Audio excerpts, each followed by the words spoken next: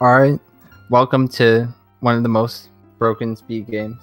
Do you want me like how are we gonna do timer stuff? Do you want me to like tell you when to start or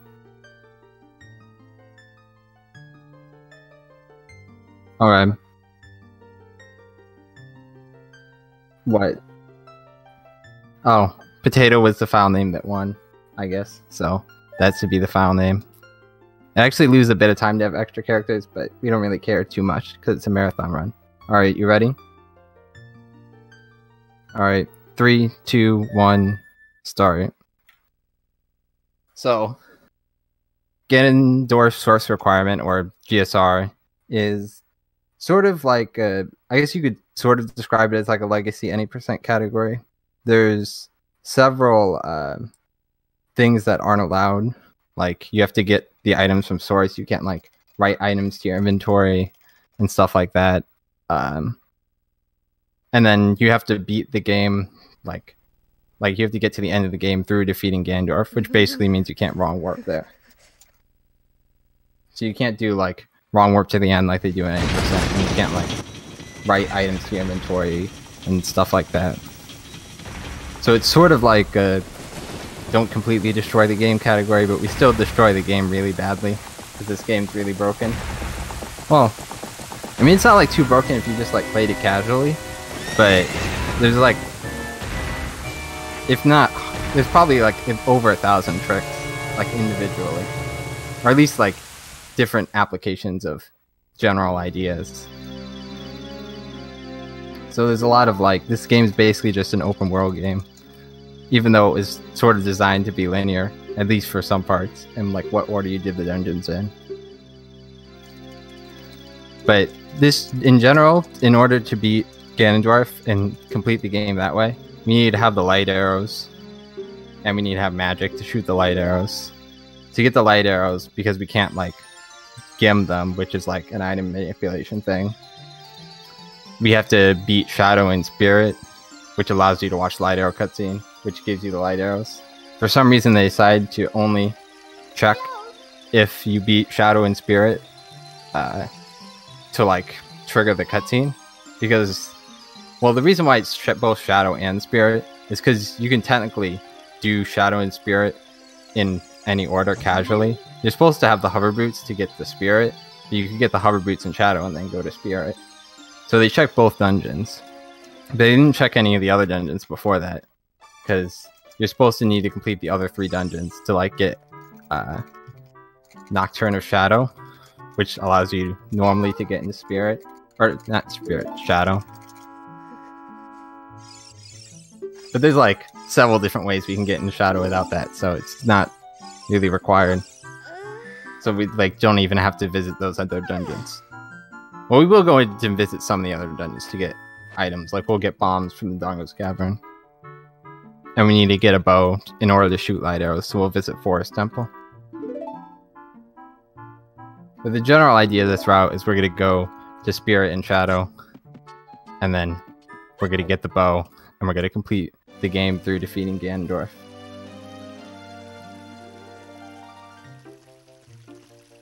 So starting off, like, I'm going to skip getting the sword, because I just, you know, it takes a little bit of time to get the sword. And also there's a specific trick that I'm going to do later that requires that I don't have a sword equipped. So we're to do a rupee route here to collect some rupees. I want to get 35 so I can buy some nuts and two sticks from the shop.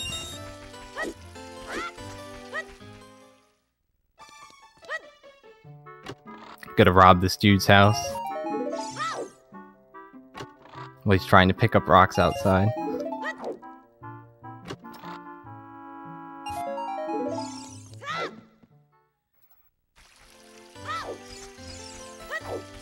You may be wondering why we need sticks and nuts. Well, we're going to use the sticks to escape the forest right away. And then we're going to use the nuts in bottom of the well to get bomb juice. But I'll explain that when I get there.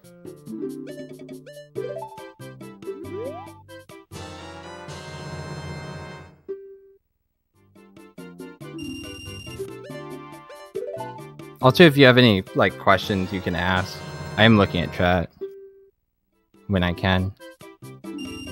just like in general about the run or OOT speed running.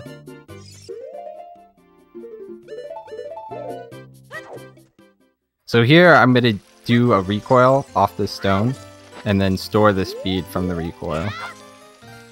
I'll explain this more in a second.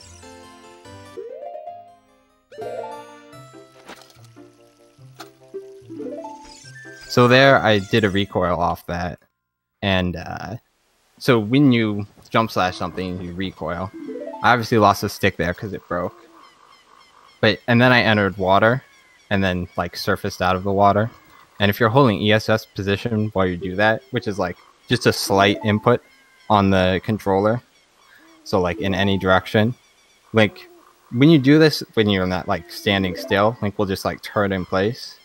And it so happens that when Link is like doing this turn in place, he his speed just like isn't like calculated, I guess. So he just like if he has backward speed, he keeps going backwards. Um,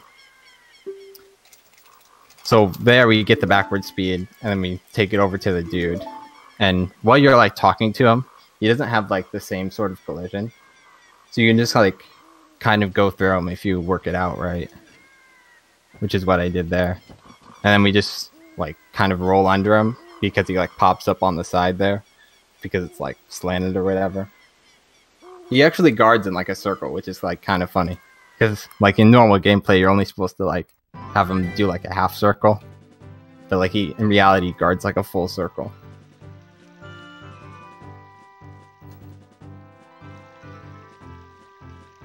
Yeah, this category used to be named No IM Wrong Warp like a couple months ago. The main reason for that change was like uh, we don't also allow cutscene skips in this category, and so it was kind of weird because like cutscene skips are like debatably a form of wrong warp, but not really. Alright. I said yes to the owl, so he talked to me again.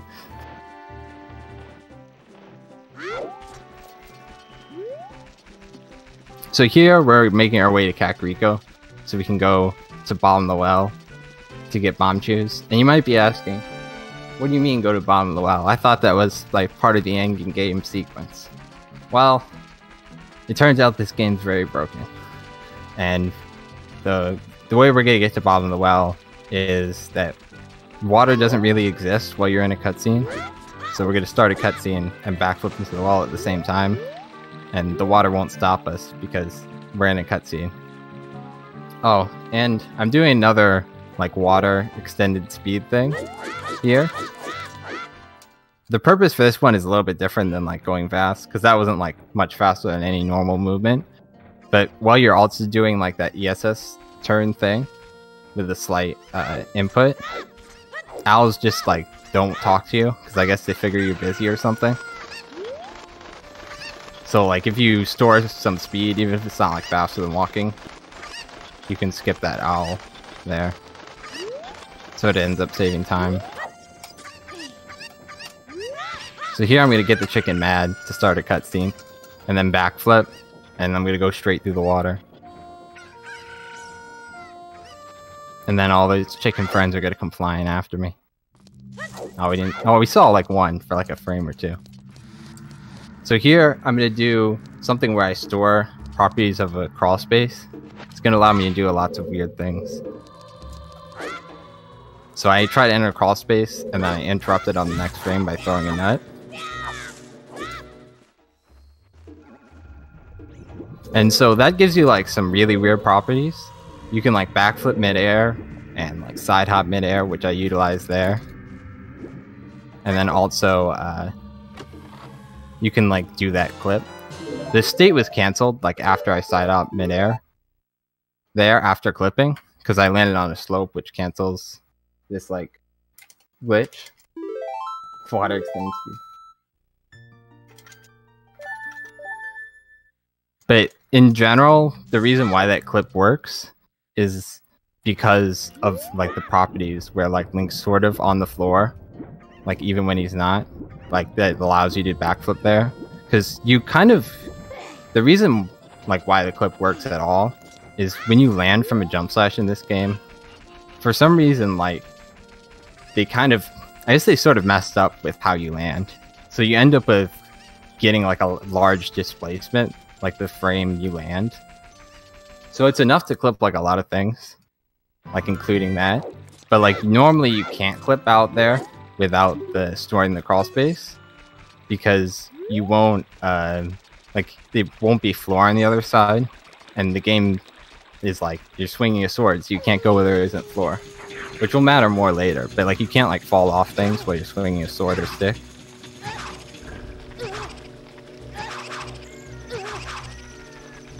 I'm taking some damage here, so I can kill myself later. To skip a cutscene. The classic. Collecting some rupees here too, so I can buy a shield.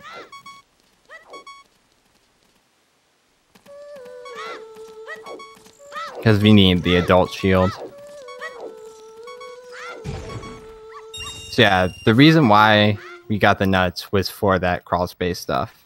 I could have done like a different method of entering bottom of the well if I wanted to, but I needed the nuts anyway to get the chus. Ah, I tried to do another owl skip there, but this time like utilizing uh, the fact that like the owls won't talk to you while you're like pulling things out, or like, but I ended up messing it up. I think it was a little bit to the right. It's not a big deal though, because it like hardly saves time.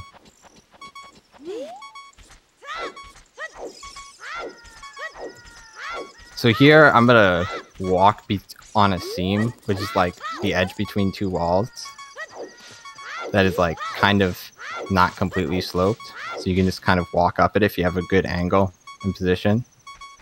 And go slowly enough. We use it a couple times more. There's a lot of seams you can walk up, but you can't walk up like every corner between walls, but you can walk up a fair amount. So here I'm going to do a damage boost here, so I don't have to wake this guy up and move these boxes.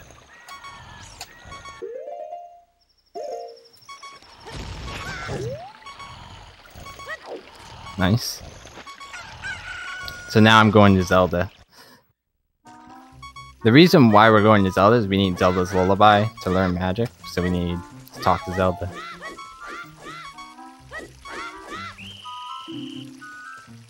Ah, I thought he was facing the other way. That's alright though, because the boxes are moved now. Because the game, like, I don't know, I guess it assumes that you must have moved boxes. So it just like kind of puts them there. Guards can be kind of annoying because how they move is like sort of random.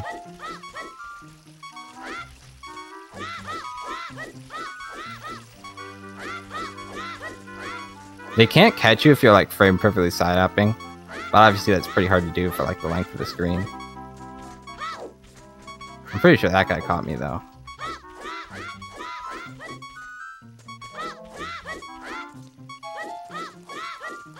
But he wasn't able to like complete catching me because I didn't stop side hopping. Yeah, the guards are like probably the biggest reset point of the run if I'm like doing like runs for like a PB.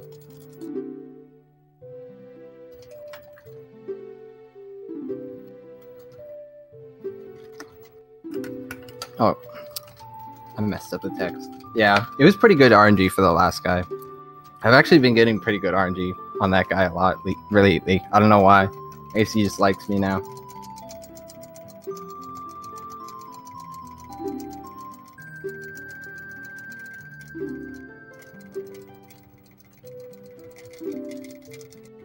So, in general, we're just getting this for magic. If I mess stuff up, I technically use it to get through spirit, but I shouldn't. If I like, there's other ways to get around that. That hopefully I'll get.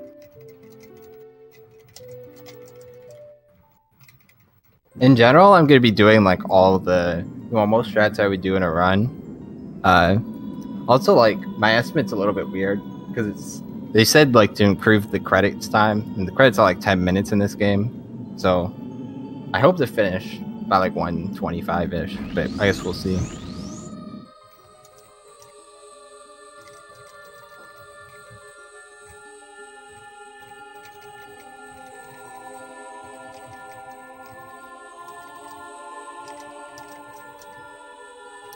Uh, the biggest thing, like in the child section, is just like we need to get explosives so we can like kind of open up a lot of stuff as an adult.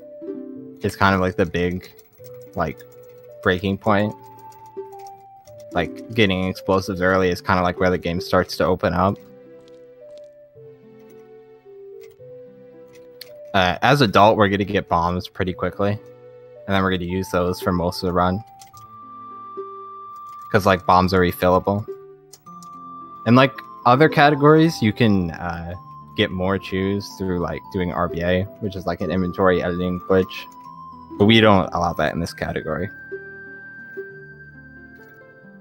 So we sort of just have like these 10 chus and we just sort of have to stick with it.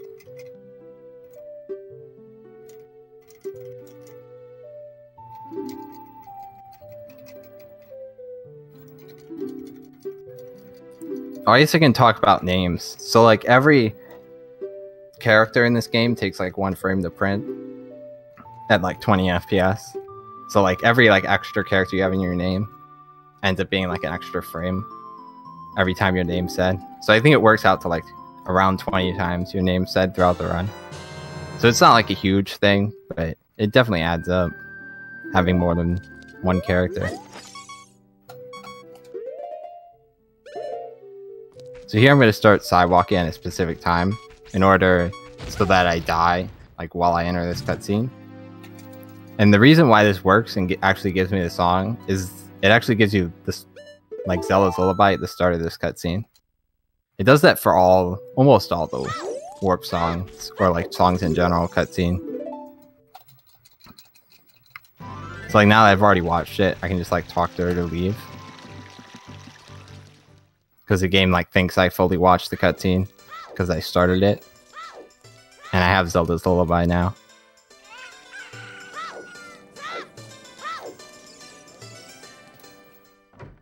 So here we're gonna go buy the shield because we're gonna need this as adult, and we're just gonna go straight to adult.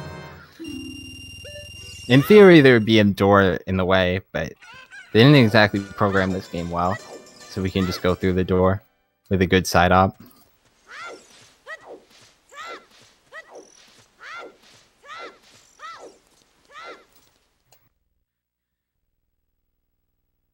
So we're just gonna like bypass all the trial dungeons. Technically, we'll visit DC later because we want bombs, but other than that, that's the only trial dungeon we'll visit.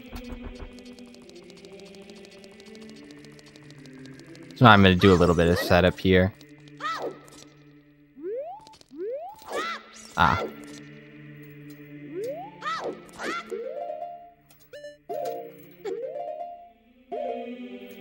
Ah, alright. That sucks. This is alright though. I ended up failing it. I went over by one frame. So there I like messed up my first setup and I had to do a different setup. But then I just messed up the trick as well. But yeah, we do a lot of setups in this game. There we go.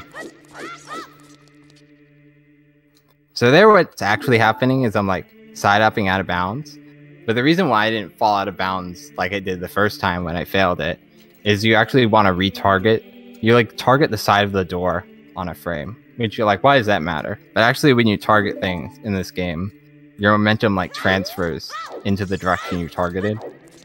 So because I target the side of the door, like I start like moving into the door, and that's like sort of keeps me like half in bounds. And then I can hold left to get to the other side.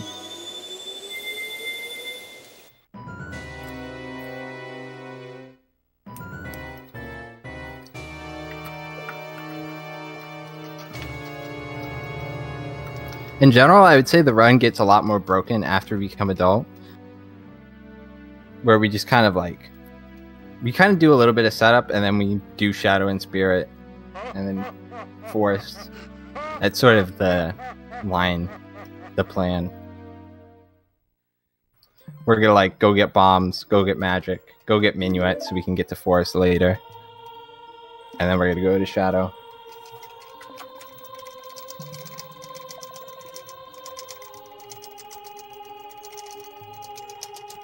Because like in general, when you're adult, the game's sort of like open world, but there's supposed to be limitations. Like you aren't supposed to get the shadow until you beat the other three dungeons.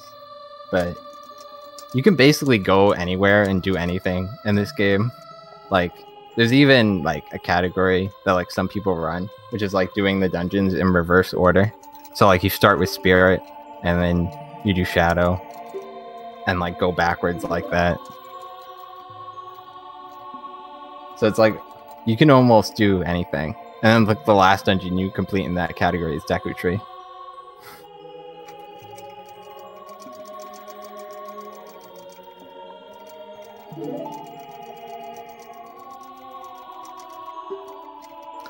But yeah, in order to get to the end of the game through defeating Ganondorf, we need to get Shadow and Spirit. Because actually, like, having the Shadow and Spirit medallions is what triggers the cutscene. And that cutscene gives us the light arrows.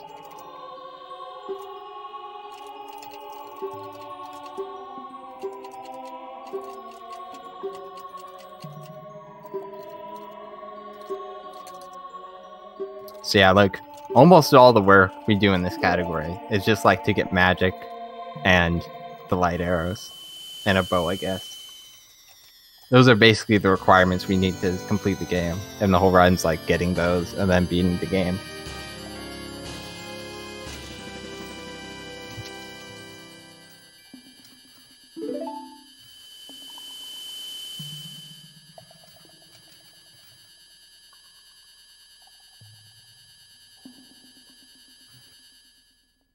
I always thought it was weird that he gives you one of the medallions, which you normally get for beating the dungeons.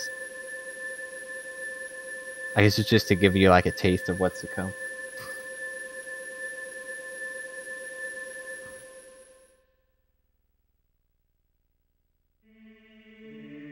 Yeah, and also somehow Ganondorf also knows dot skip because he managed to get through the door of time too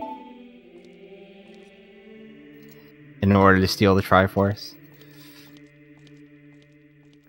The plot's normally like you open the door of time and then he gets to go to the spirit realm, but the lore gets a little bit complicated when you dot skip. Also, it's a bit interesting because like you can't see the door there, but it's still like the door is actually still there. It just you can't see it because we're not because there's like a loading plane there, and the door would load when we walk over there. So after this cutscene, we actually have to save warp to get out.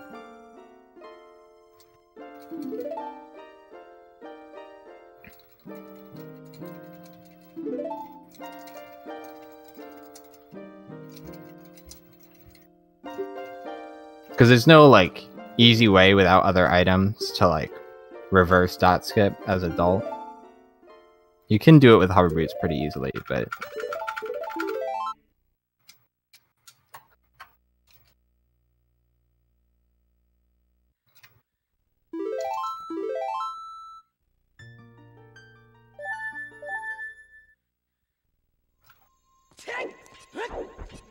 yeah, now we're gonna head up to DC to grab some bombs.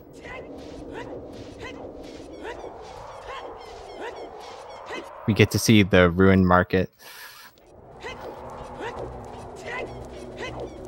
Unfortunately, I guess it's already taken me seven years to get to this point, so I don't think this run's gonna PB Kappa. Because it's like supposedly a seven year difference, I think, from child to adult. Also, in general, it's a little bit interesting because Hyrule Field, as child, there's like monsters and stuff in it, but then once Ganon's taken over, like all the monsters are gone and there's like fences and stuff in Hyrule Field. It's kind of funny. Normally I would do a HESS here, but I'm actually gonna skip that for this.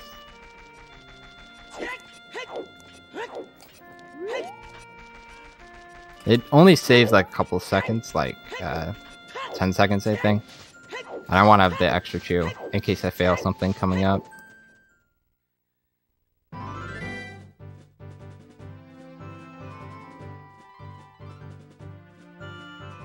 So I am going to do like a hover up here to bombs instead of going through the temple normally. I can go through the temple normally, and I will if I mess up this hover, but I'm going to go for this.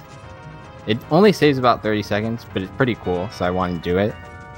I'm gonna use like the property we talked about earlier with like you slashing you can't fall off things. Or like sort of fall in general. So I'm gonna get what's called like infinite sword glitch or ISG, which like is sort of a state where your sword's always swinging. We're gonna do this by interrupting a crouch stab by talking to Navi. And when we're in this state and we shield an explosive midair, we're just gonna sort of hover there. Because the game doesn't want us to fall. Because it thinks we're like on the ground, I guess.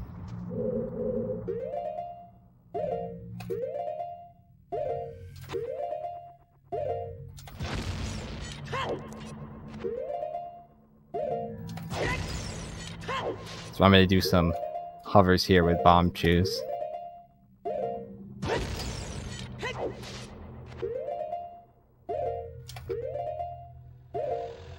The goal of this is to get on this head here, and then we can get from there up to bombs.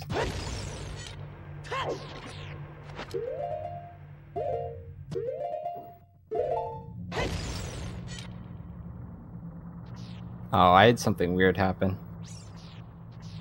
I noticed one of the shoes looked really weird. Well, this might... Oh, shit. Oh. Oh, wow. Okay, I managed to save it. I guess I'm glad I had that extra chu.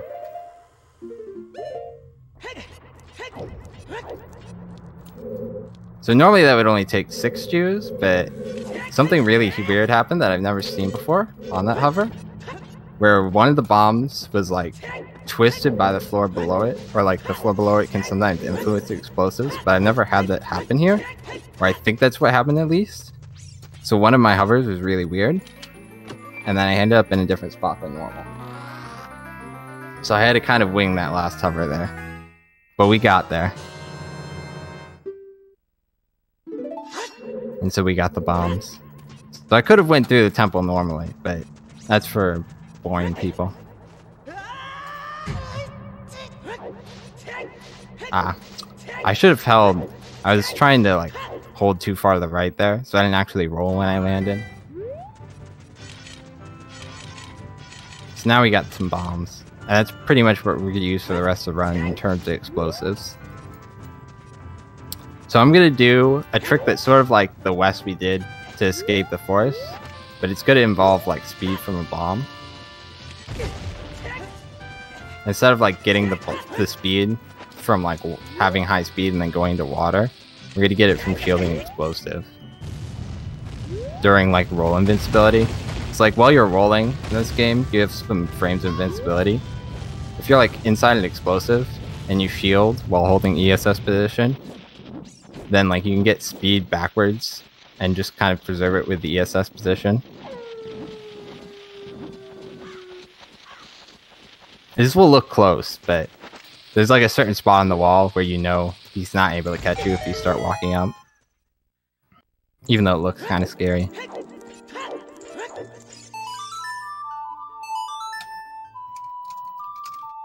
So that, like, we call it a Hess when you do the speed extending with the bomb. That's a little bit faster than, like, the recoil water extended stuff I was doing earlier. It's like yeah, it's a little bit faster. It's in general, a Hess is like about double the speed of a backwalk. So it ends up saving quite a bit of time just like Hessing a lot of places. It's never like a huge amount of time, but over long distances, it can really add up. So here we're getting magic. And we're having the definitely almost PG scene. Probably the weirdest part about this game is the Great Fairy cutscenes.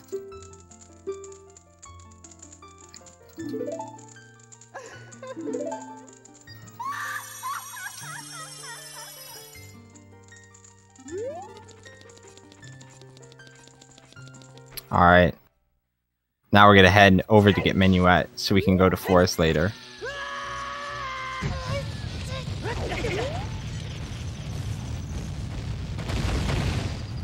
So the reason why we're just getting Minuet and not going to Forest first is Like one, it's kind of convenient to have hover boots in forest. We can we could go without if we wanted to, but in general, it's actually just a little bit faster to go to it later. Because you're like after you skip the cutscene, because we skip it with dying again, like we did with the CL earlier, and you're gonna end up on like the other side of the area, and it's just more convenient to come back later because you play the song and you're right by the dungeon.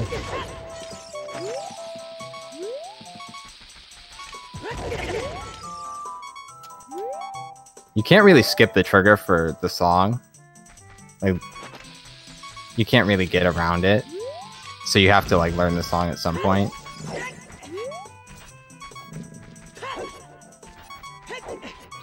Unless you were to like wrong warp into forest or something, which isn't allowed in this category anyway.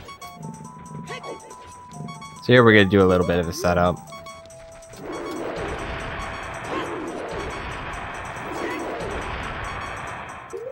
I'm gonna line up against this guy's backside and then just get back walk with a bob and it'll explode perfectly at the right time to kill me the frame I enter the cutscene. So here I'm just gonna save and don't continue, which will put me back in Temple of Time after I start the file again.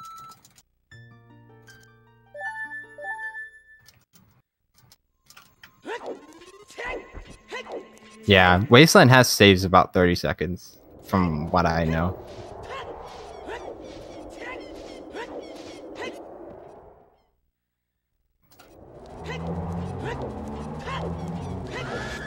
And like, that is a pretty significant amount, but I think overall, the run, if you didn't do like any Hesses, it'd probably be like three or four minutes. So I that's kind of big relatively, but it's not like insane.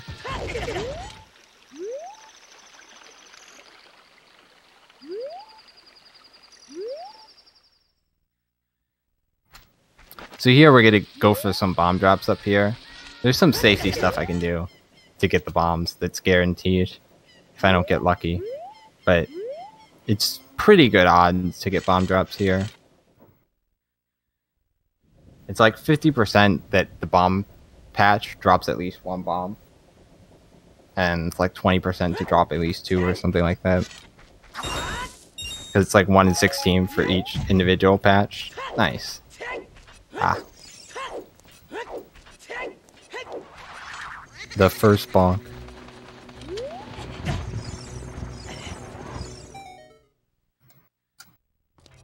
So there we interrupt the grave pulling animation with getting hit by the Poe, which sort of just like breaks you out of it, but the grave still keeps getting pulled. So we can just like enter the grave while it's still opening. So how Dampé throws the flames here is random. And sometimes they're really hard to dodge like that.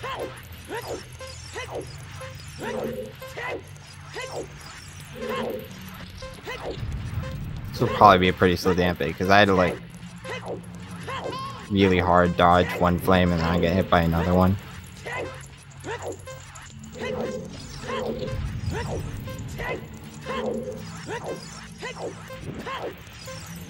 Yeah, 50 flat or 51 is a pretty good guess.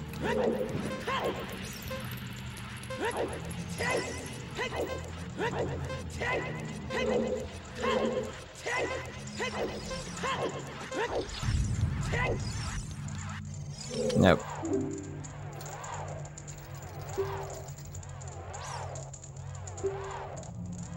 Yeah, I had to like kind of walk around that one flame there, so I didn't have like fully the fastest speed after I jump slashed up there.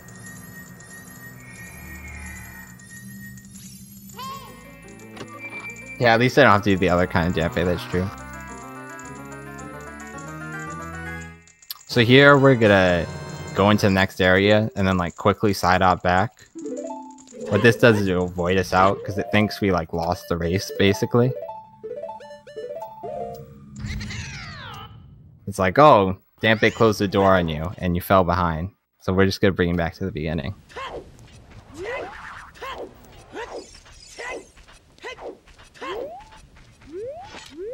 So here we're gonna do something we call a hookshot jump basically if you interrupt the hook shot at a good time, like as it connects with something.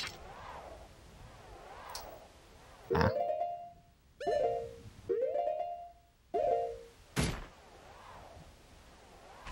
You'll just get like jumped up by like that.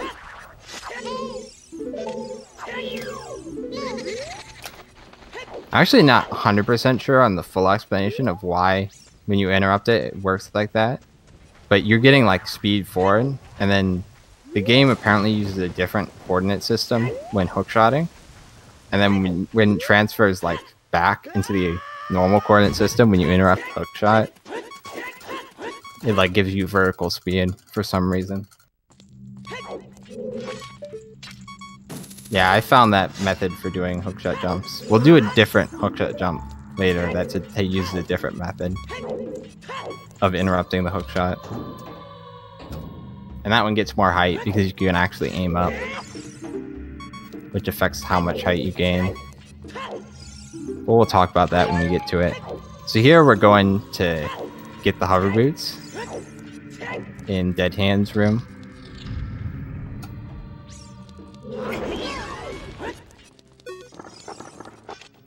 Oh. Sometimes you get it where like the music is really quiet. It's actually really interesting. We don't really know why, what causes that exactly, but it happens sometimes where like the music is really, really quiet like that. It's like pretty rare. It's like maybe like 1 in 50.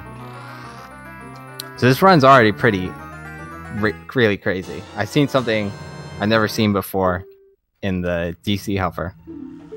And we got the low music, which isn't that crazy. So here we're to do something fancy.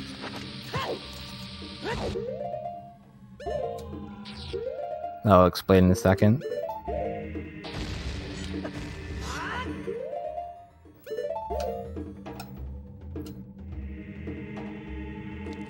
Alright, so the loading zone for bosses is like always there. You just kind of like open the boss door and then walk into the loading zone, which is like always there. Ah. And then, so what we do there is we do a super slide, which is like we use Hess from a bomb. This is like sort of the same idea. It's the same speed as a Hess, but instead of like using ESS to like keep the speed, we're like interrupting our grab animation because like we roll into the bomb, grab it, and then we get hit by a bomb at the same time as we're grabbing it, and that sort of just like kind of messes up the game. Because I guess maybe because you move really far from the thing you're grabbing or something like that, and it gives you like speed backwards, and as long as you're holding R, you keep that speed. And then but that's like, that speed alone isn't enough to clip there. We need some additional speed, like just the super slide isn't enough.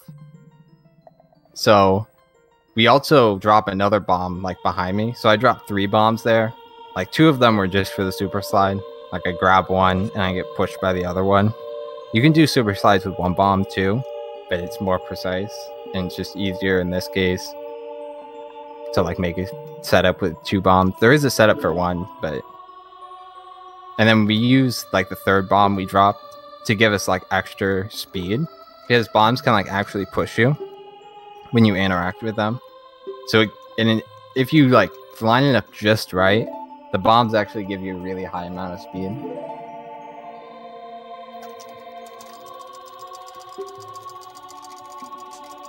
Yeah, N64 is a little bit faster in this category. I don't know if it's about 40 seconds. It's between 20 and 40 seconds, though.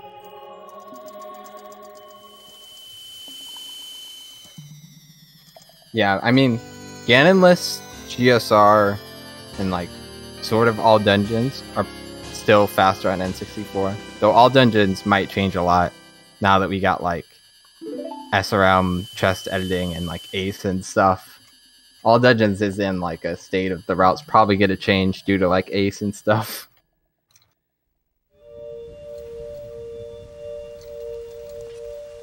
Alright, here we are to save warp to go back to Temple of Time, because that's a little bit faster than walking.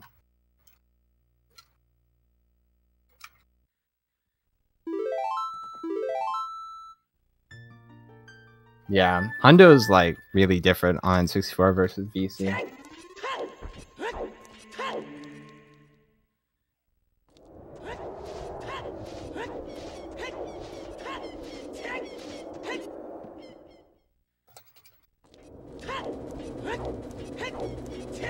So here, now we're gonna do a spirit, now that we completed Shadow.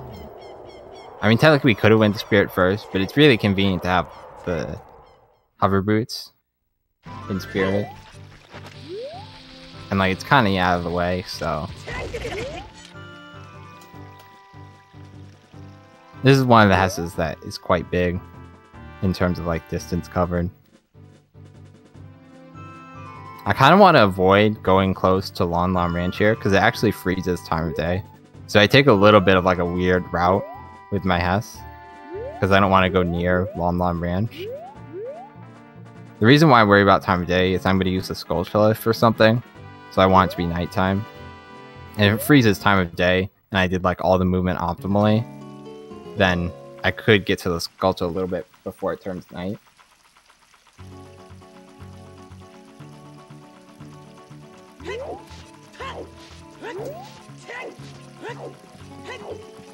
So here you normally need Epona to cross the bridge. There's a couple of ways we could do it, but here we're just going to do a Hess and equip our boots.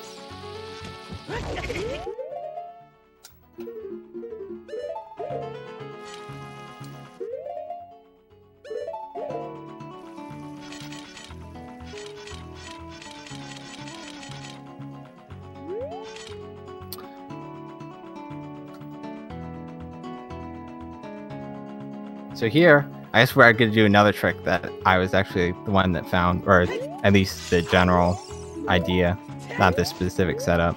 But when you're coming out of like a hover, like sort of like the ones we did from DC, your speed's actually really high in the downwards direction. Like you max out your downward speed while you're in one of these hovers. So we're gonna like snap back from a hover. I guess I'll just do it and I'll talk about it.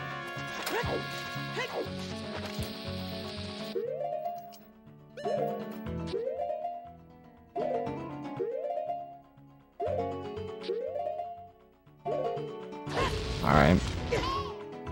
So we're gonna get hit by the bomb as we land from a hover. And this gives us like speed into the gate and downwards. And because the floor is a little bit slanted, if you have a good setup, you can like clip there. You can sort of do that with almost any floor that's slanted. And then some flat floors if they have certain properties. We'll use that later in Spirit for the boss key skip. Only that one's a flat floor.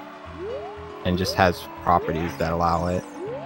Like the property specifically is like it lets you move while you have high downward speed. Because some floors like stick you still when you have high downward speed, so it doesn't work there.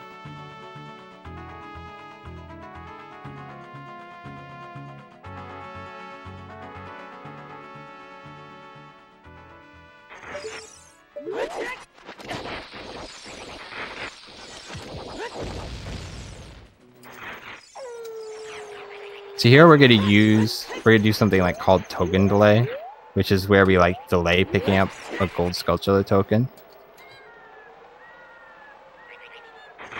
So if you press Ocarina... Huh. I'm doing another seam walk here. But this one's a little bit hard because I have to like manually line it up. So you press Ocarina in the air, you won't pick up the Gold Skulltula token until you land. And then if the token unloads before you land, you won't pick it up at all until you look at it again, basically. So we're going to look at it as we hookshot something to interrupt our hookshot.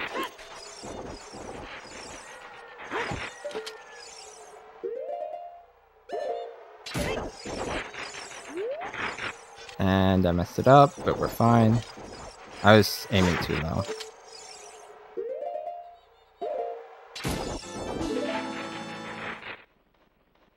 Alright. I'm glad I didn't mess it up enough to mm-hmm. fail it. So yeah, this jump jumps a little bit higher.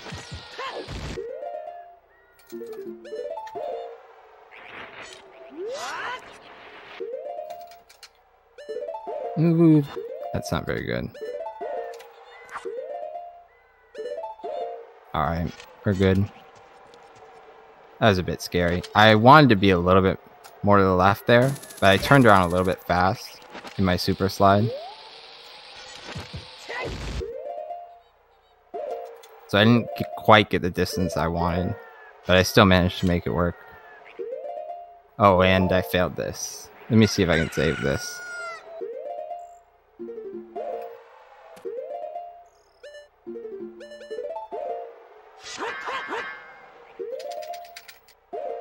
Oh no. Alright. We gotta do spirit normally. Oh, that's sad. I I got like a weird uh, super slide. You get to see the strat I actually came up with earlier today though.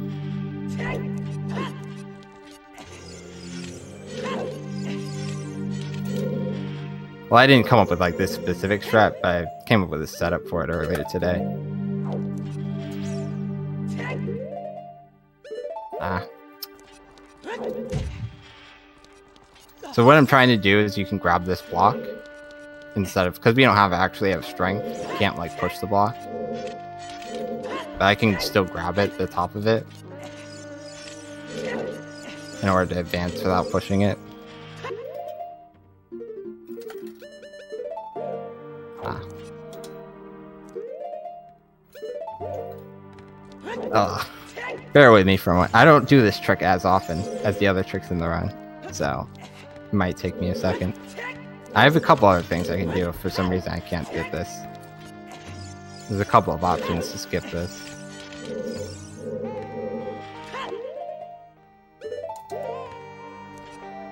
This should work. What? Right, I'll do this once more and then I'll try something else. It's not too hard. I feel like that last one should have worked.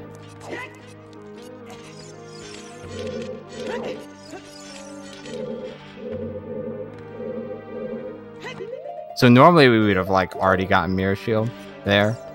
And we like skip most of the dungeon. Alright. I'll do this other stuff. Actually, I'm gonna get some bombs here. These guys have 50-50 chance of dropping bombs. So, actually, the trick I was doing to get to Mirror Shield is a little bit more risky than some of the other stuff. There's a hover you can do if you have other chus, but I use them all for DC hover. Alright. So this is my other strat. I'm gonna do a clip here with a Hess. I don't know why that strat I tried initially didn't work.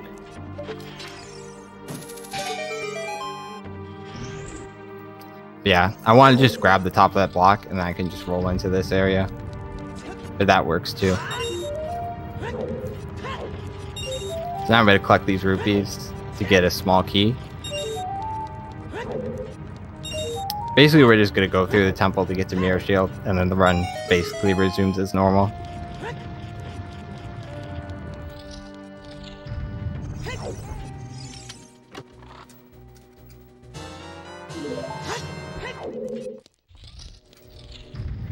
Yeah, I think that's what happened too. I got like knocked out of the super slide. It was a bit weird. It may have worked if I didn't equip hover boots as soon as I did.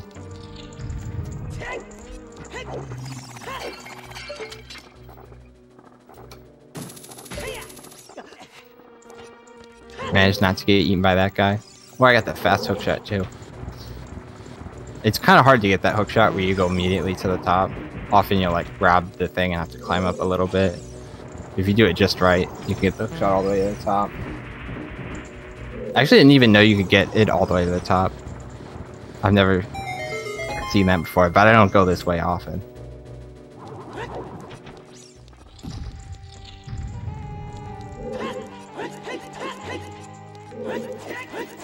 One benefit about going through Spirit is we're gonna do like Normally we do like some of this stuff. There's like a specific like room with like I don't know. I'll I'll mention it when we get there. It's like there's like floaty dudes that you have to burn in fire. We would do that room anyway. Even if we had gotten not failed the trick, so there's a little bit of like non-wasted time. So I'm trying to backflip onto this. because then I can hook shot to this chest instead of like walking up the other side and jumping down into the other hand.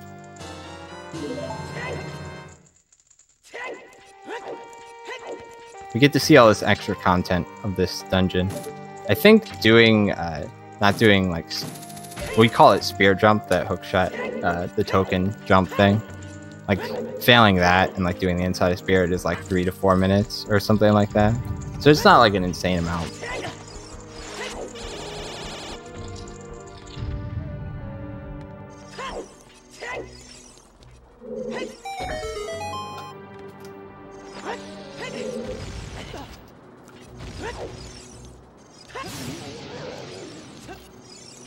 So I have to move in a specific way in order to like lure these guys into the fire because they sort of mimic your movements. Oh, I was slow.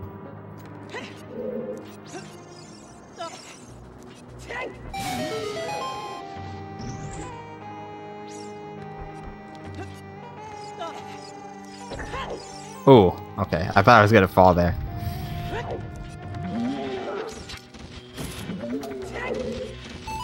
So here you lure this guy to hit that switch and open the door for you.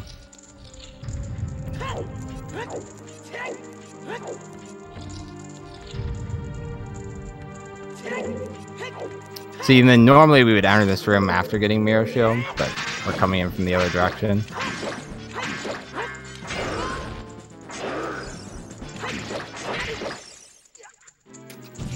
Oh god. That's actually really bad. Well, that sucks. I that was actually surprising that it killed me. Usually I have actually one more hit on him, but I messed up. And also, like, I should have been in a spot where I wasn't gonna get hit. Well, it's not too bad. A lot of the stuff we don't have to redo.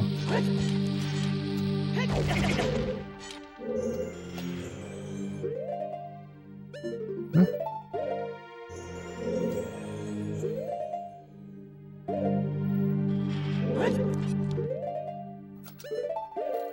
Because like this door is already open and we don't have to like play CL again to get the key.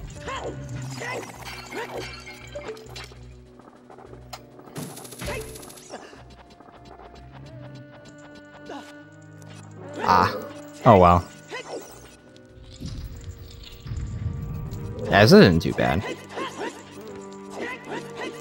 It's a bit better to side hop up these stairs than walk up them. Because in general, when you're going up or down steep slopes, side hops are better. Mostly just for up, because side hop is like, it gets slowed down a little bit technically, because you're like slower on the flame, on the frame you land from the side hop. Also, that's an interesting quirk, that the switch is already pressed when you come back, because it was pressed when you left the room.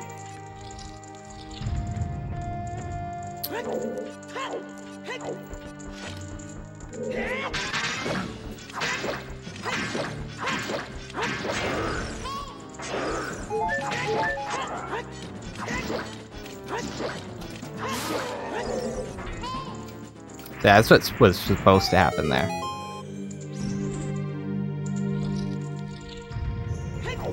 The reason why I was surprised I died is there's generally like a spot like just to their left that you can like, I guess you're right when you're facing them, but it's like their left that you can just like sit on their foot there and they can't hit you.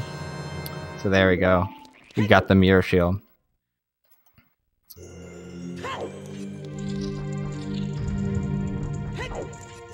Kind of sad that I messed up the last part of that spirit jump. But I guess it's actually not that bad. Because you got to see the trick. And then you also got to see the inside of spirit.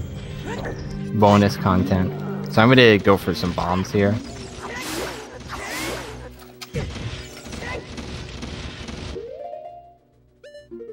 Oh.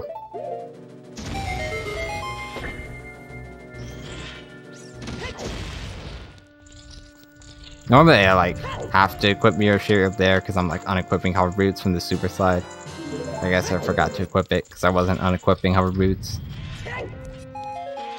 got wow, I got actually four bomb drops there. That's pretty lucky even though I don't need them. It's uh it's a half chance for each oh normally I would do the room now but because I failed it the because I failed uh, Spirit Jump. I've already done that room. So that's why I hit the switch. So here we're gonna get ISG, just so it's easier to walk up this arm. And we're gonna do like a little clip here to get on top of the shoulder. Oh. This kind of randomly fails. It's actually really weird. I feel like I've had like everything that's like sometimes randomly failed has gone wrong this run, but I guess that's the nature of a marathon run.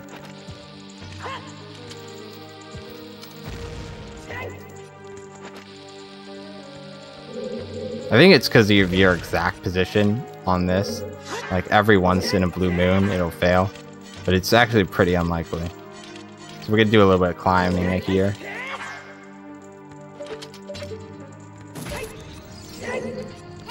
Then we're gonna hook shot the grate that's inside of this just to get up to this door. And then we don't have the boss key, but we can just like go through the door. Because we're all powerful gods. So there, that's the same idea as the gate skip, at the gate skip we did to like get into the wasteland in Gerudo's fortress. Six out of six for spirit bomb drops. Yeah, I got bomb drops from the grass too.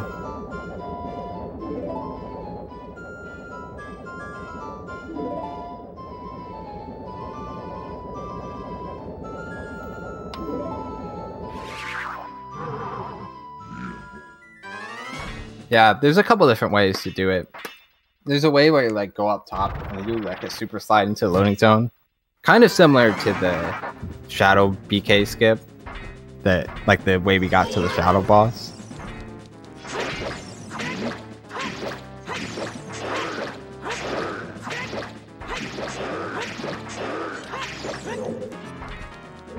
So that's what I meant when you can stand right by his foot and he can't hit you. Here we're going to do a cutscene skip by killing him as we fall out of bounds.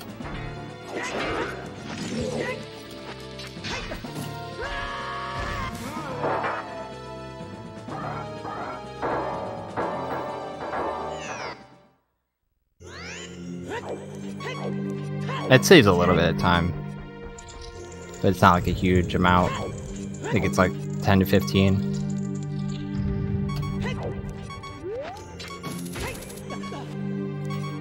Usually this is one of the places where like you can lose the most time if you end up like killing yourself. But actually it wouldn't be that bad because I've already done the inside of the spirit.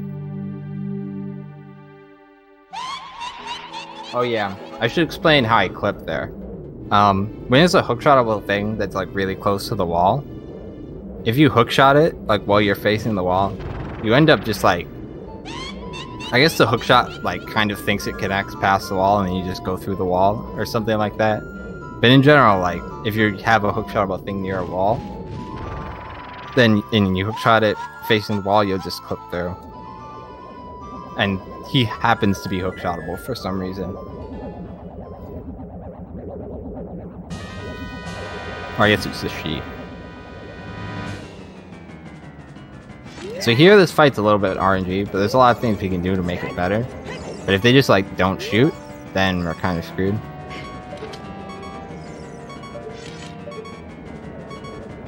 Alright, the blue guy's gonna shoot.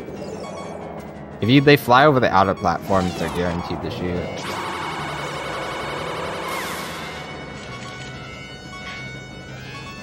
So you can hookshot them and it makes them like spin, and you can use that to manipulate the positions pretty well. Alright, that guy's good to shoot.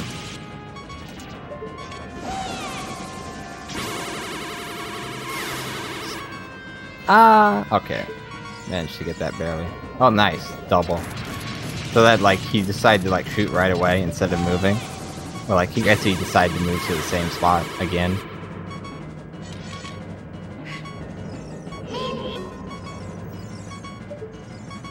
Alright, that guy's gonna shoot.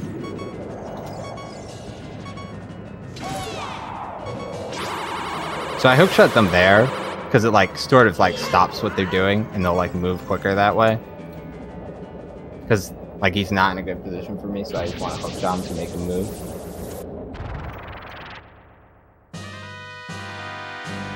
In theory, you can get like screwed if they decide to like stay on the absolute opposite side of the arena, but it's pretty rare. So here we get a hook shot them like before we shield their attack.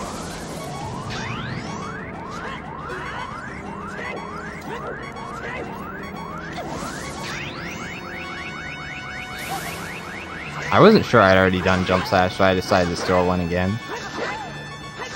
This is one thing I haven't talked about. Is that crouch stabs are actually really broken in this game, in the sense that I guess they forgot to program how much damage crouch stab should do.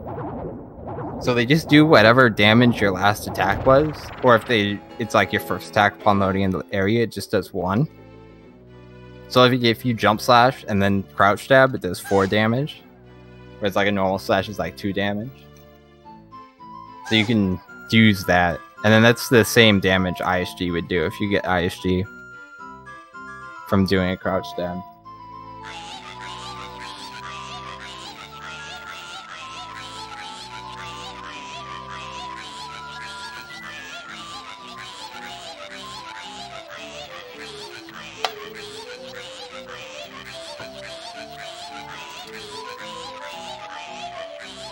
Yeah. Kind of sounds like I hate him, or as people like to say, my anus.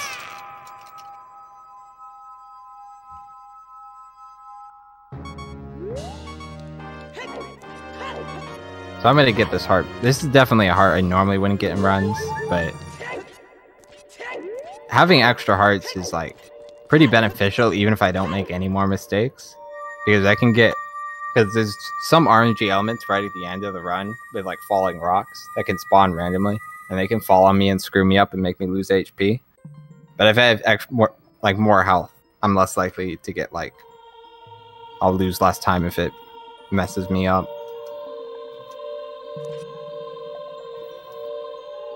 So now we've completed Shadow and Spirit. So we could go get the light arrows if we wanted to, but we also need the bow to shoot the light arrows because we can't shoot light arrows without a quiver, technically. A lot of times in other speedruns, you'll see like people get a glitch quiver from RBA and use that to shoot arrows without actually having the bow. But since we can't do RBA because we have to get things from source, we have to actually get the bow.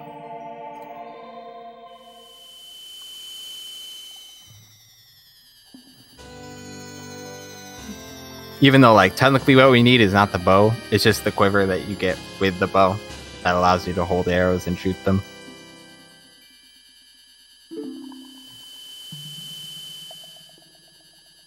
I don't I don't see how crouch stabs could be intended. It just seems like they probably forgot to set a damage value for crouch stabs, which is why it just does whatever the last attack was. It seems a bit weird that as a game mechanic, you'd have an attack that does whatever damage your last attack did. It doesn't seem to make much sense.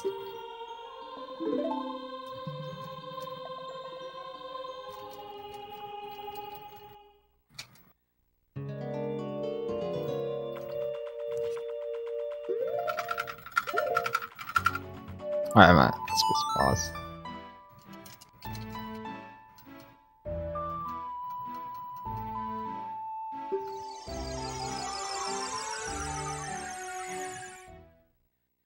Yeah, I mean, I mean, you could definitely argue that it's a fine name. I mean, in general, the category name when it was changed from No I'm Wrong was voted on, and this is kind of what was decided. Personally, if I was side name, I guess it would have gone with something like, like some sort of, like you know, it's any percent but with extra restriction. But the name that it is decided isn't totally bad either. I mean, essentially like light arrow source requirement and Ganondorf source Prime would almost be the same thing. Except the idea is more like Ganondorf comma source requirement because you beat Ganondorf and things are source requirement. So I was gonna do a slash while he was dropping down, and like roll under him. But I mistimed the slash a little bit, so I just hook shot at him to kill him.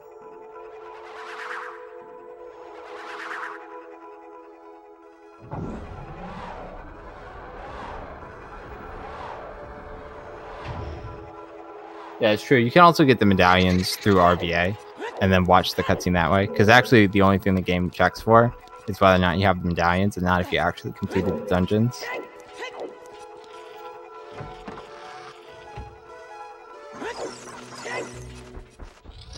So Stalfos fight are a bit interesting. Like there's RNG involved, but a lot of it is like manipulable or like you can play around.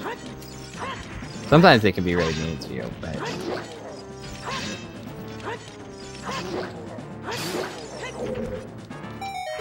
that wasn't too bad.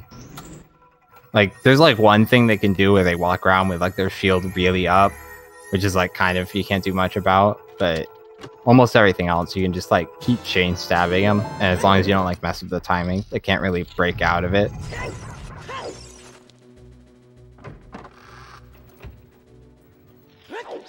We need to do that fight in order to get a small key because we need to open some locked doors. Here we're going to do something called a ledge clip which is where you target a wall as you grab something which kind of confuses Link about which way he's supposed to be facing, I guess. Like he tries to, like he normally like faces, you know, away from the ledge or whatever. But when you target something, he faces towards that and it messes him up.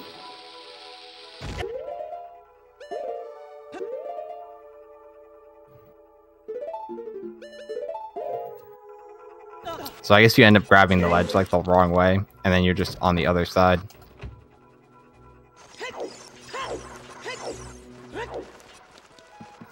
So there we did something called, I said damage boost jump. I don't know what its official name would be.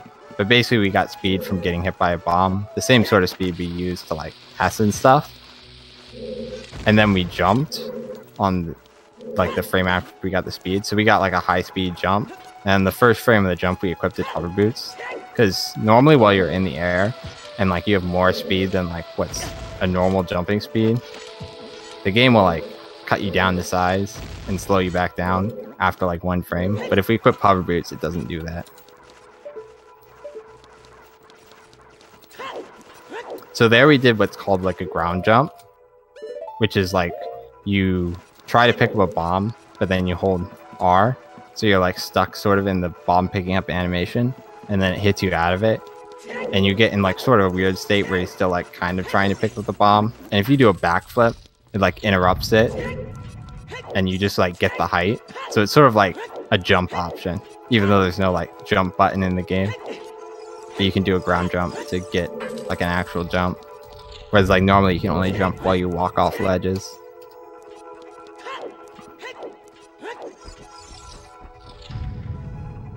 So here we got another Stalfos fight.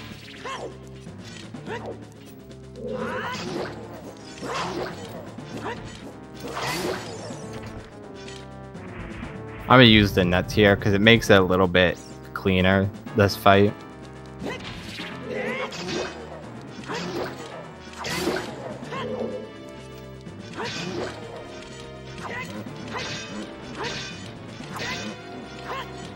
Wow. I definitely should have been able to hit him there. He was like doing the, he was like walking around with his shield up, and he was like sometimes they like hold it poorly, I guess. I don't really know why, but like he's like not properly blocking himself.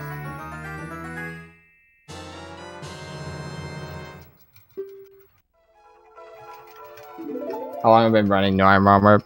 Um, I guess it depends on like what you mean by how long. Like, I guess the first time I ran No Iron Armor was like a year and a half ago. I've been running OT for roughly about three years now, though not like running it the whole time. Like I was doing just like a lot of like glitch stuff, like mess around with that and like other things instead of running. And I haven't been doing it continuously, but I've been doing it a fair amount. So we're gonna go to Temple of Time, which triggers the light arrow cutscene now. Yeah, I've like I guess no, I'm wrong. More probably like I've been running it more seriously for like six to seven months or so. And I was doing all dungeons before that, yeah. This is jumping on with SRM.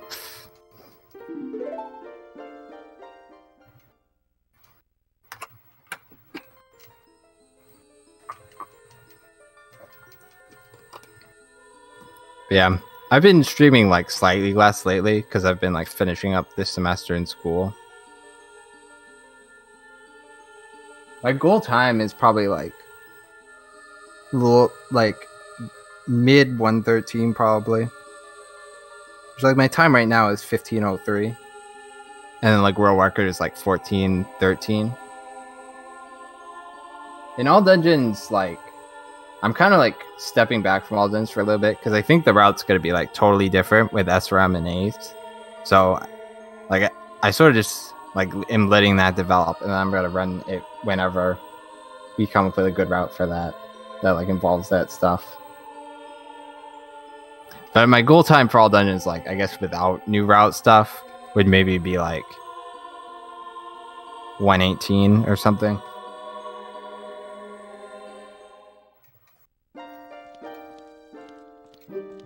Yeah, I think the ZL SRM stuff.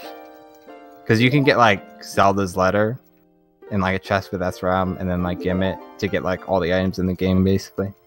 It's a bit like a glossing over, but you can look up some stuff. There's like videos on YouTube about it. Technically, I guess it would be allowed, but it's not going to be allowed once we work out changing the rules. I mean, like, it wouldn't be allowed in this category either. I mean, technically GAM already wouldn't be allowed in this category, but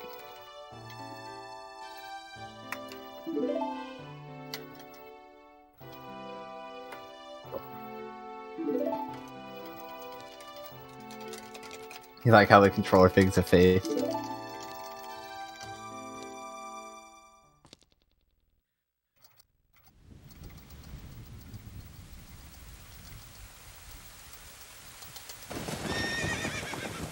Yeah, like it'll probably be it'll obviously matter for 100% no source requirement. I'm not sure how much it will change 100%.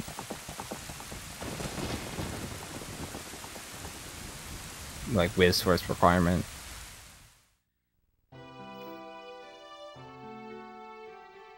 So yeah, we have everything we need to complete the game now. We have magic, we have light arrows, and that's basically all we need. Technically like watching this cutscene allows like a, a bridge to spawn that you use to get to the end, but you could also just hover.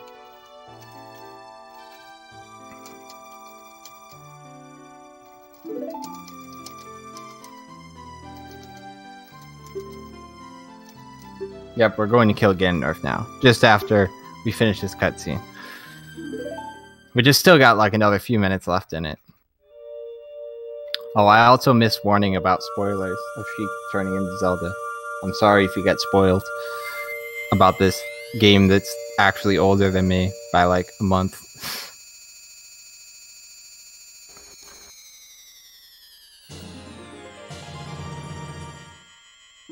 Hey, do we have a moment? Yeah, if you want to be a donation. Uh, not donation, but more of a schedule update. Unfortunately, um, as you all know, Slower Demon is organizing this marathon.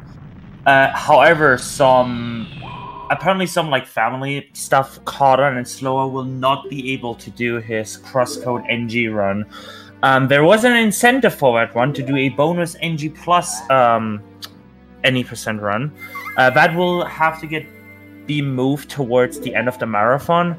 Uh, we will be moving uh, Child of Eden up uh, to that slot, and during the Child of Eden run, we will try to find a uh, backup 40 45 minutes of the supposed any percent NG run. Just figured that out on on stream. Thank you. All right.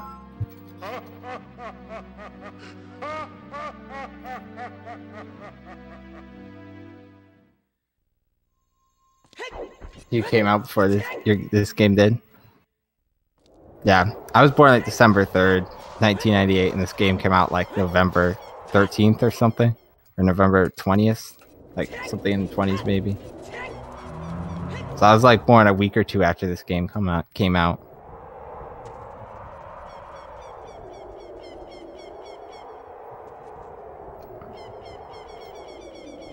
Sorry if that makes you feel like a boomer, Kappa.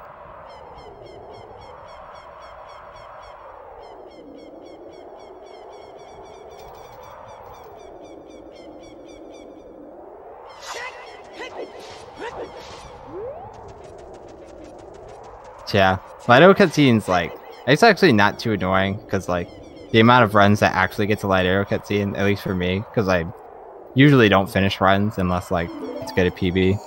Though sometimes I do. Like, so I don't have to watch Light Arrow cutscene that much. The more annoying cutscene for me is like the Master Sword cutscene or like the Zelda cutscene. I failed. I actually got Spirit Jump, but I I got like a really weird failure on the super slide after Spirit Jump.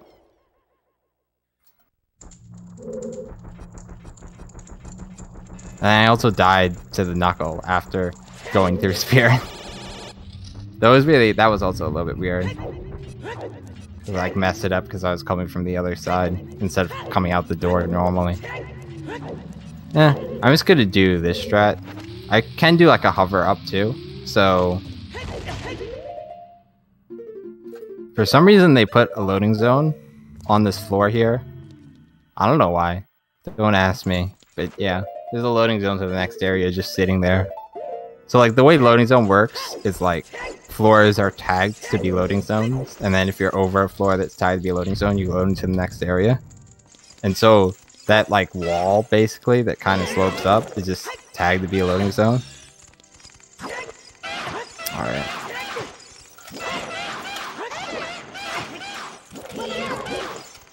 Okay, I'll just do this. I can't quick spin, apparently.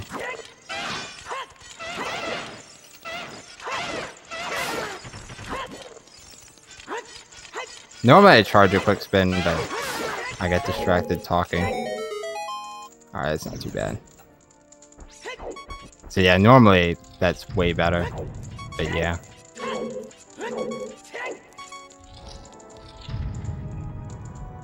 Yeah, for some reason they put a loading zone over that floor.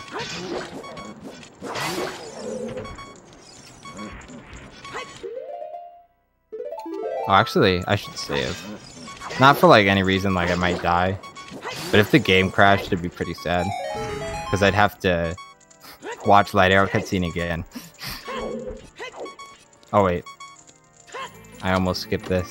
That would have been interesting.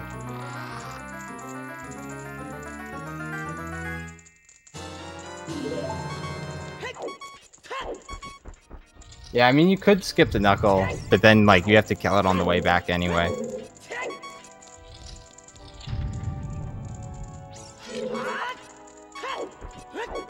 Low health doesn't actually even matter that much anymore, because these guys one-shot me anyway. Well, I guess with five hearts, they don't. Hmm. Oh, wow. That went a bit weird. One of my stabs didn't hit the guy on the left, so I had to roll out, and then when I went back in, my stab didn't hit the guy on the right. And I just hit him, like, as, uh, which, like, interrupted his swing, but I, like, died on the same frame. So if I had, like, stabbed one frame faster, I wouldn't have died there. That's okay.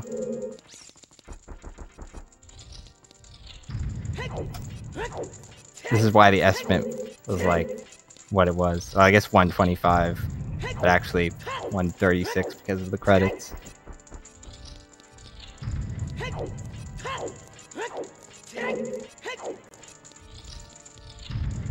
I also haven't been doing too many runs actually recently because I've been finishing my finals.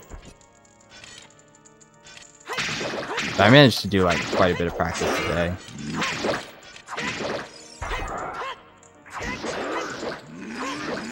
Yeah, I did the stab a little bit early, which is why I didn't hit one of them. And why I messed up the first time. And then the second, like the time when I went back in, it didn't hit the guy on the right. It was just because my position was a little bit off. You can do those one at a time too, but doing them together is obviously faster.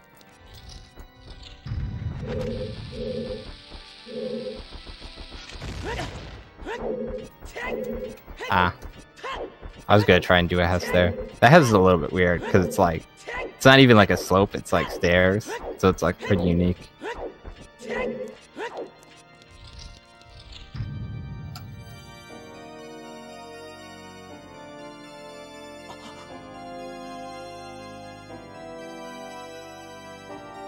I mean, I'm probably gonna look into SRM stuff more when I'm done with school. Like, I've been sort of not looking. I mean, I've been like watching how it develops, but I haven't been doing a lot of research on it because it's like I know it's something that if I get into, I'm gonna be spending a lot of time on.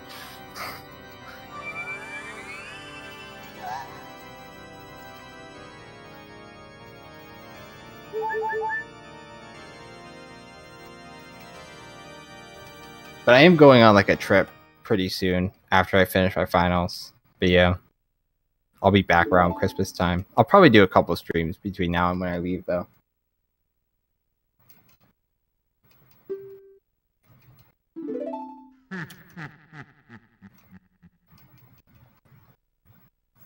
Yeah, I'm going to see some family.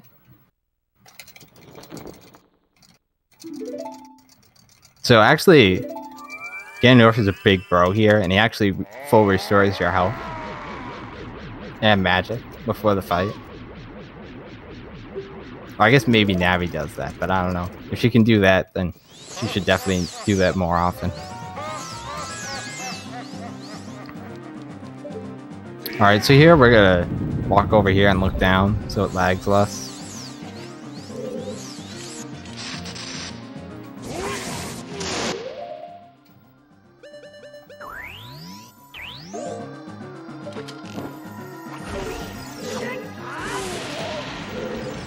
Here we're gonna get ISG. ISG is a bit complicated there, or at least it's not technically harder than normal, but it's a different timing because this area lags a lot. So if we're just like crouch stabbing or like using ISG to like hit be hitting him like the first frame that he's available to be hit, like he's not able to like go back up and like keep you from killing him. So you just like one cycle him. It's technically the same thing we did with Bongo earlier in the run. And well, like Twinrova actually isn't like that because we just like kill her fast enough that she just dies.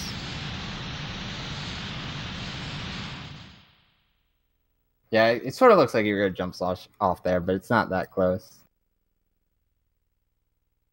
And now it's time for Ganon. So this is the part with like a little bit of RNG with rocks. Well, I like do another ledge clip here, like the one I did in Forest to get through the block. But then I'm going to get hit by a bomb and void out as I enter a loading zone, which does some weird stuff. It puts you through the loading zone, but it puts you at the coordinates of like where you would have spawned when you void out. So like when you void out, you respawn here at the top of the tower or whatever.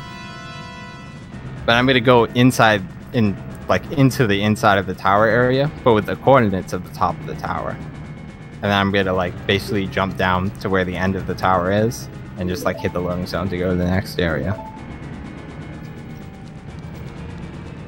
But I need to like hang on the ledge for a second while like a bomb ticks. And if I get hit by a rock then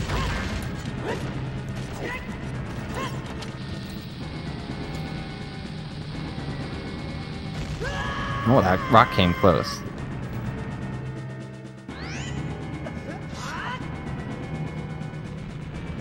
This is kind of one part that's pretty sketch. If I messed up this, I would hit the loading zone and I'd double load one of these areas and the game would crash. And then if I hadn't done that save that I was talking about earlier, then I'd have to watch later cutscene again.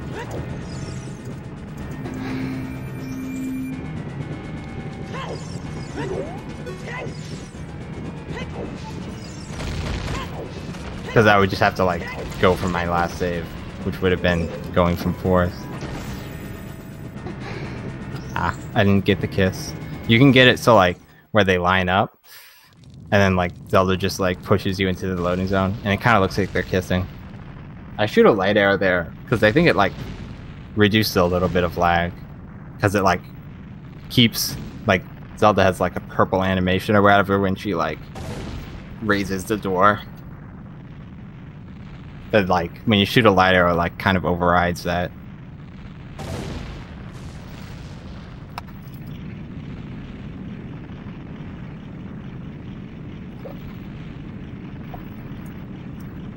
Yeah. So with the like tennis you play with Ganondorf, like if you're that close and you swing it, like almost all the time you'll just hit him the first try. It's actually kind of weird because like sometimes he'll like keep reflecting it back, and we're not quite sure why, but we assume it's like something to do with how he's flying around or something like that. It's kind of the speculation.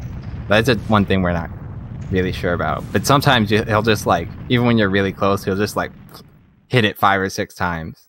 And it looks really weird because the light ball will like go through him and then it'll like hit it from behind him, like after it's gone through him.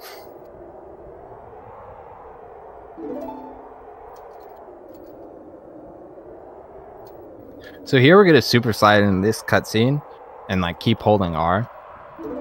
Well, which is like it's kind of due to the state that super slide puts you in, but it kind of messes up this cutscene a lot, and it keeps Ganon from knocking out your sword, which seems weird, but just because like I guess it can't play the animation.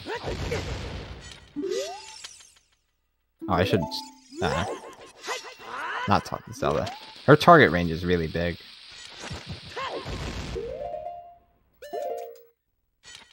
Wow, okay. Well, maybe I'm... I can try to do a one bomb super slide. But maybe I'm just walking. Alright. This is not too bad. I can just hookshot his tail. So I was trying to keep the sword, but now he's gonna knock it away. So like in this first stage of the fight, we're not gonna be able to keep the sword, which is what I wanted to do. But he has like 10 HP, and like all your normal items do one damage to him, but like the sword still does four, so you can like kill him really quickly through the phase if you still have the sword.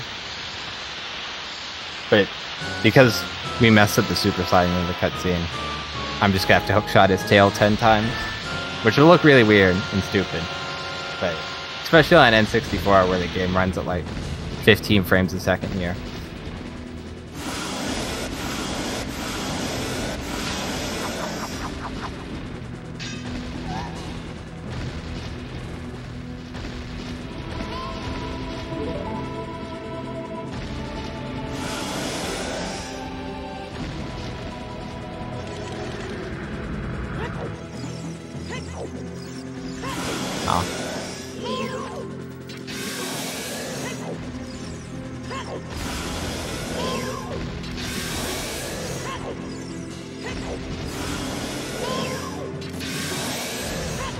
Great battle battle with the Ganon. Krillin kept rolling under him and then hookshotting him in the tail. So I guess you're supposed to use like many different items or whatever. But it's like they all do the same damage and hookshot's just the most convenient to use.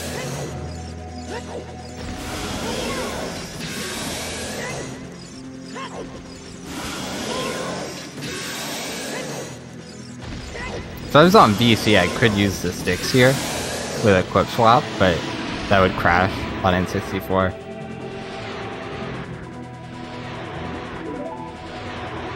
Yeah.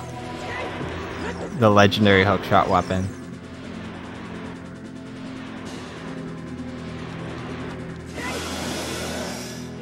So now we get the sword back. Gan's a little bit faster in this phase. He moves a bit quicker.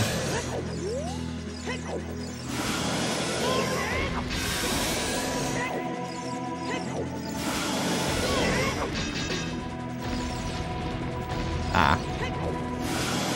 I didn't wait long enough, so he like wasn't correctly facing the tail. I don't think I'm facing the right way. I'm playing this pretty safe. I would normally play this cutscene way riskier if I was like actually doing a run. But I don't want to die and like have to redo Void Warp. Especially because I don't have any bombs, so I just have to go down to the thing normally. Alright, there we go. It's almost time for time.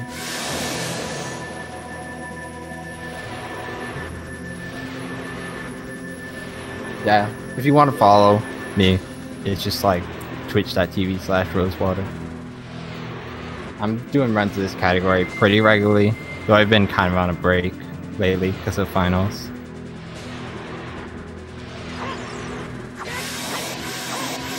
Alright, that's time. And then I don't know, I think we might be running a little bit behind, so I don't know if we want to watch the full credits, but Give me one second, I will check the schedule. That was a 129.23 by the way. 129.23. Yep. Well, I mean, in, I think my estimate was like 127, not including the credits. One technically. forty-six actually. Yeah, it was 136, but that's including the credits, which are nine minutes long. Right. So CrossCode. I mean, I already said this. CrossCode um, is dropping out because Loa has family issues. We're moving left at Child of Eden up, and that is supposed to start at 21 on the hour, which is in 17 minutes from now. How long do these credits take? I think we have time. All right, well, I think we actually have time for credits. Pog. So you can like do like all your like shoutouts during credits. Plug the, all the discords. yeah, I assume there's at least like multiple. yeah. I mean, there's several. There's like random OT Discords, Yeah. but the main one is just like this speed run Discord. I can actually link it. Why not? It's kind of like where we all do our hanging out and stuff and talk about random OT things.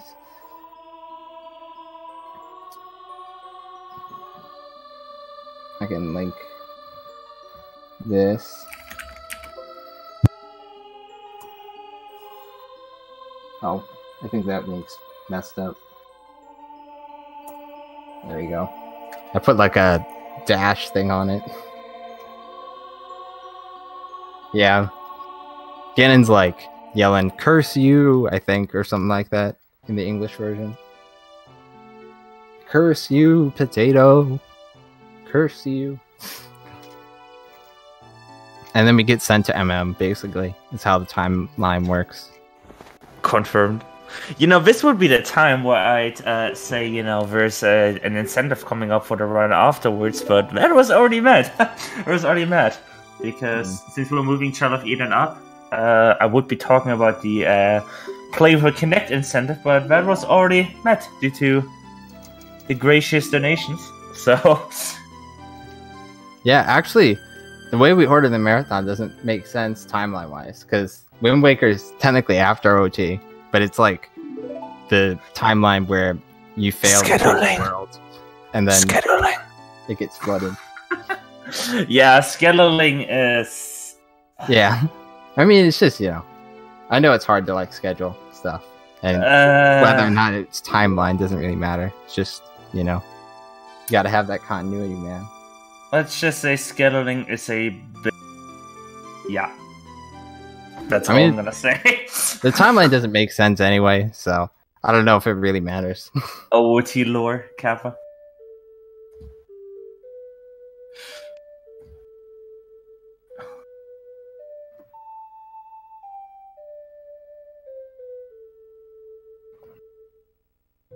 yeah the discords is a nice place just to like hang out and ask questions if you have any um and then yeah i'm probably gonna stream tomorrow but i do have like one more final but it's like an easy class so you always have like the hard classes then you have the easy classes Yeah, that's kind of how it goes.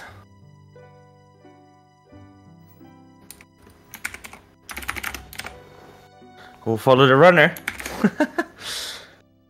but it's it, uh, it's always very very nice when you actually during a marathon you have time to watch the OT credits because they're just. How do you say this? Like you have to consider this game was like. You know, it's been like it's pretty monumental it's like Isn't it like 20? Didn't it become 20 three years old this year? yeah it's 21 years old this year it's a month 21, It's right? like yeah. around a month older than me, and I just turned 21 in December. Yeah. So like this, like when you can like consider that like they made like all this this giant game of like probably like just let's be real probably like 50 60 hours of casual content back then on a platform that has less processing power than probably one core of the machine that's currently restreaming this marathon you start to consider that like back in the days game development was just more of an art form and just the credits of OT just very much reflect that. Yeah, it's insane that, like, because this is like one of the. I mean, it's not technically one of the first 3D adventure games, but it's like I mean, there's obviously like some One of the first. like, One of the first. but it's like one of the first like that actually resembles modern 3D adventure games. Like a lot of the other ones are like weird like PC things that are like like either like point and click adventures and stuff like that. Hmm. This was like more like a game you would play today, but it's like 21 years old, This game basically defined. This game basically defined the 3D RPG like speedruns forever. When you consider it, Yeah. and the credits are emotional and nostalgic. So I'm actually gonna get the game audio up here because I can. Water Temple games are the hardest time. Yeah, I feel like it's like the amount of time that a lot of people spent casually when the game came out is probably more than like 50 or 60 hours. Because it's like, there's a lot of like, you just need to like kind of explore and know where to go. It's like the, a lot of the older games were like that, but it's not like they tell you where which temple you're supposed to do next and things like that. Well, I think Navi does maybe, but who listens to Navi anyway? Yeah, we only listen to Way of the Hero.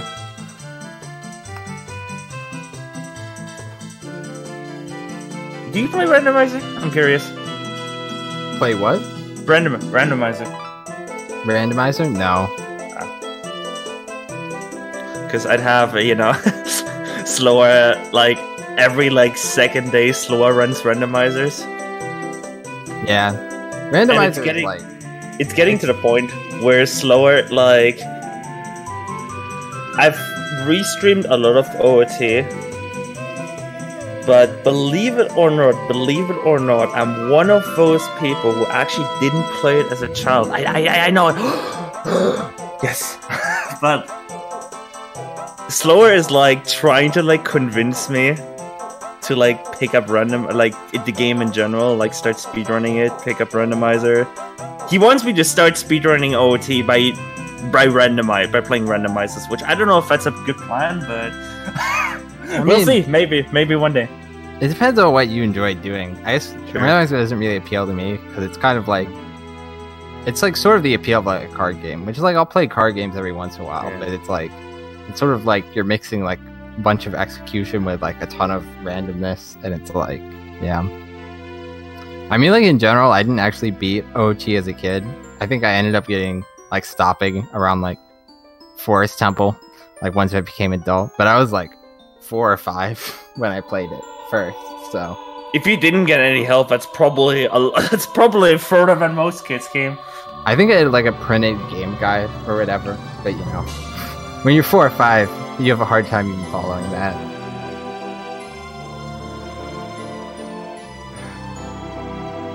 I know that for Mario, I like Mario 64 in particular, particular as a child. I came to like, I think I got stuck on what they would now consider Tippy. Could never get 70, feels Batman. But GG, what a run! Thank you, thank you so much for running. Yeah, it was a bit tight for me because it's like I get finals all around here, but it's it was nice to do it, out- All worked down. and the run turned out well, even though I haven't like I, I only like played OT today, and I haven't played it in like two weeks or something. but I did like four or five hours of practice earlier today. So this is like the point where like everybody argues where the timeline actually splits, right? Yeah, Like low rise. I mean, I think if you beat the game, it goes to MM. Right. If you don't Right. beat the game, it goes to Wind Waker. Right.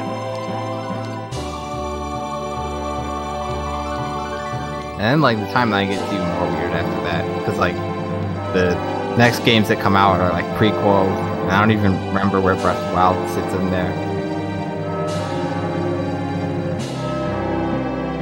I think Breath of the Wild is also a prequel. I don't know.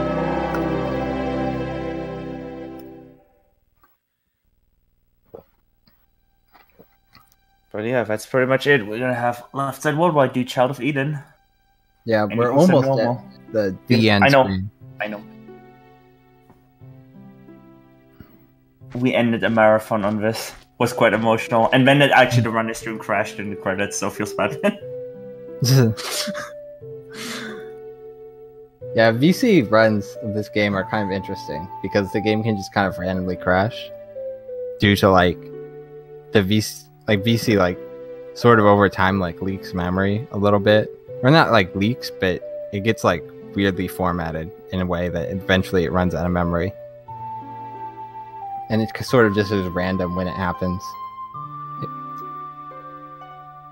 Also, an interesting thing is like this looks the end screen is different on like 1.0 yeah. versus 1.2. There's also a glitch where I believe if you run with to the end as adult, like Link will be in this credit as adult with just like this a monk at TOS. Yeah, I think certain wrong words yeah. you may end up as adult. But it's... that's it. Thank you for running, and as usual, runners have the last word. All right. Well, check out my stream if you want to. I hope you all enjoy the next run. See ya.